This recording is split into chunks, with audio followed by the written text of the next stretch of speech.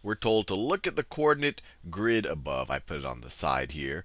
Identify one system of two lines that has a single solution.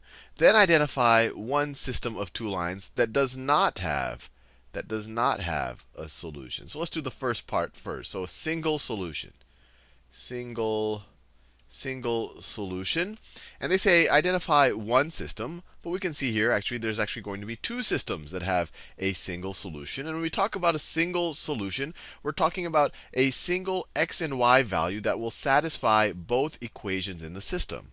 So if we look right here at the points of intersection, this point right there, that satisfies this equation, y is equal to 0.1x plus 1.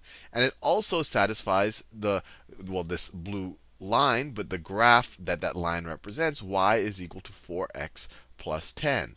So this dot right here, that point represents the solution to both of these, or I guess another way to think about it, it represents a, an x and y value that satisfy both of these constraints. So one system that has one solution is a system that has y is equal to 0.1x plus 1, and then this blue line right here, which is y is equal to 4x plus 10.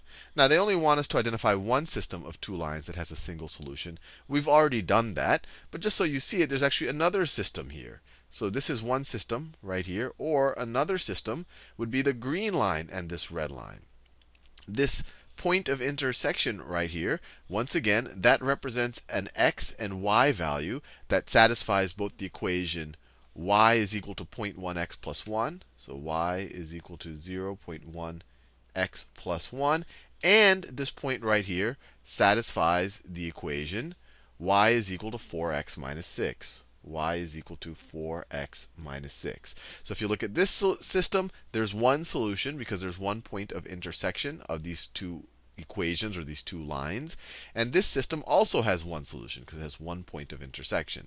Now, the second part of the problem, they say identify one system of two lines that does not have a single solution or does not have a solution. So no solution.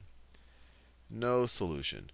So in order for there to be no solution, that means that the two constraints don't overlap, that there's no point that is common to both equations, or, or there's no there's no pair of x, y values that's common to both equations. And that's the case of the two parallel lines here, this blue line and this green line. Because they never intersect, there's no coordinate on the coordinate plane that satisfies both equations. So there's no x and y that satisfy both. So the second part of the question, a system that has no solution is y is equal to 4x plus 10. And then the other one is y is equal to y is equal to 4x minus 6. And notice they have the exact same slope. They have the exact same slope.